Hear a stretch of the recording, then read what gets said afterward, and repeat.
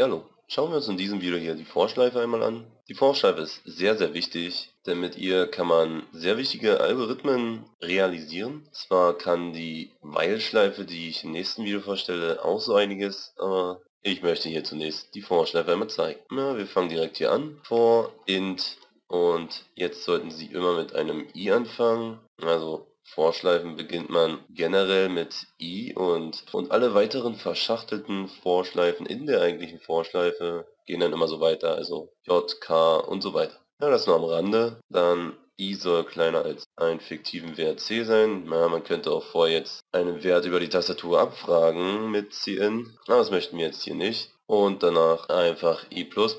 Ja, was soll hier passieren? Wir möchten uns einfach die Zahl hier ausprinten lassen. Ich schreibe hier mal eine 0 rein und wir schauen uns das Ergebnis an. Ja, was ist passiert?